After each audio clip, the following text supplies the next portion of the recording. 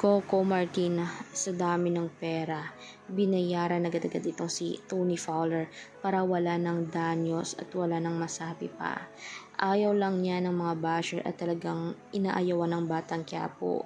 Kaya nga itinatag niya ang Batang Quiapo para ipaalam sa lahat ang tunay at moral ng kabuhayan.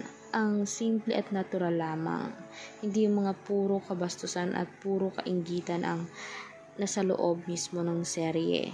Kaya para sa ikakabuti ng lahat, marami ang gustong italsik ito si Tony Fowler ay gagawin din mismo ni Direk dahil siya mismo ang direktor ng seryeng ito.